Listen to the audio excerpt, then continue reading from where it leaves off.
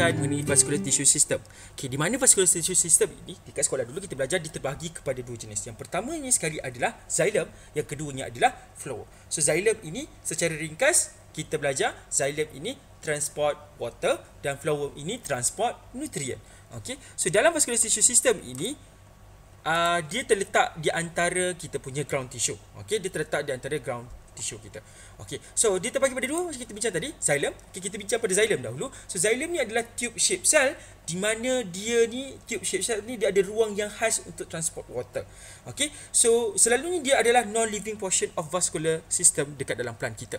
So kita bincang kepada function dia dahulu. So function of xylem ini adalah transport water, okey, di mana daripada water juga ditransport ion dan mineral daripada plant kepada plant yang lain dan dia juga berfungsi untuk give mechanical support kepada plant. Okey, structure untuk xylem ini terbagi kepada empat yang penting. Yang pertama sekali adalah trachite. So trachite yang keduanya adalah vessel element. Okey, kedua-dua benda ini dia transport water dan mineral.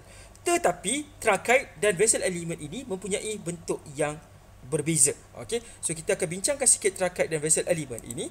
Okey. So trachite dan vessel element ini selalunya dia sel yang mati dan therefore dia hollow. So bila hollow maksudnya dia ada ruang yang khas.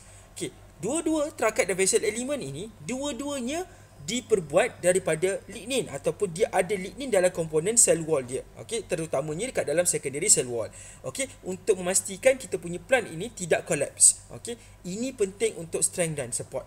Okay, so kita pergi pada trachite sekejap. Okay, so trachite ini usually bentuk dia ada tapered end. So bila sebut tapered end, dia ada uh, mucung yang leper dekat hujungnya.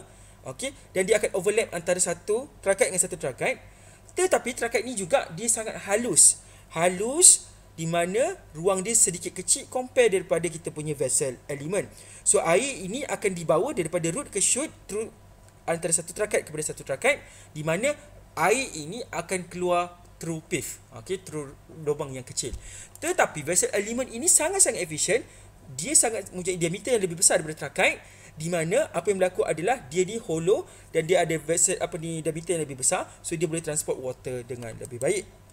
Okey tidak seperti trachite apa yang berlaku adalah vessel element ini dia boleh transport air daripada bawah hingga ke atas okey sebab dia ada hole yang lebih besar di mana dia ada lubang yang lebih besar di mana dia boleh angkat air dengan lebih efisien.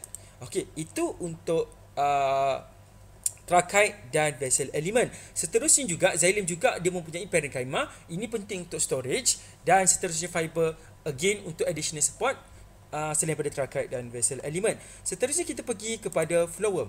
Okey, so bila kita sebut pada phloem, phloem juga terbagi kepada empat komponen yang penting. Yang pertama sekali adalah sieve tube element.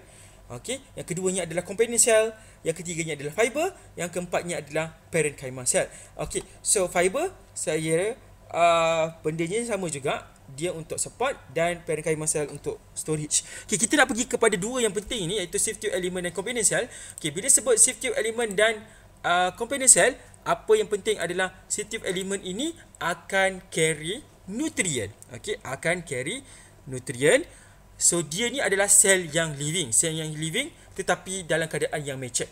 Okay, so apa yang berlaku adalah dekat dalam setiap ni dia ada thin primary cell wall di mana kat situ kita akan jumpa sieve plate. Okay, sieve plate ni adalah ruang yang membezakan antara uh, kawasan sieve tube dengan kawasan sieve tube yang ada.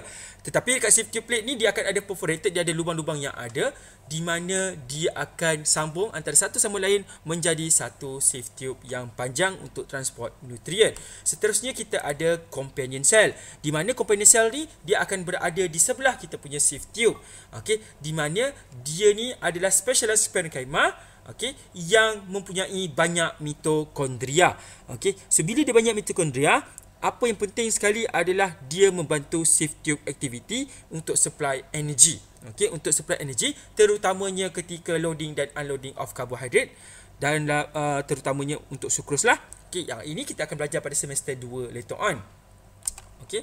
So, apa yang berlaku adalah Komponen sel ini dia beradaptasi dengan tiga cara. Yang pertama sekali yang saya cerita tadi banyak mitokondria penting untuk translocation. Yang keduanya adalah dia bergabung ataupun disambung menggunakan plasmodesmata antara komponen cells dengan sieve tube. Okey. Dan yang ketiganya dia contain a lot of ribosome and Golgi apparatus di mana ini sangat penting untuk sintesis of protein seperti enzim dan carrier protein yang digunakan dalam translocation.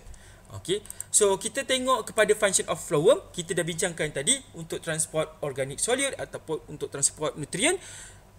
Yang uh, yang penting untuk transport daripada atas ke bawah atau bawah ke atas sebab kamu kena ingat kita punya fotosintesis berlaku dekat semua kawasan yang mempunyai kloroplas. Okey, dekat atas ke, dekat daun ke, dekat apa tiang ke, bukan tiang eh, dekat apa batang dia ke ataupun dekat akar sikit ke, dia akan bergerak secara random.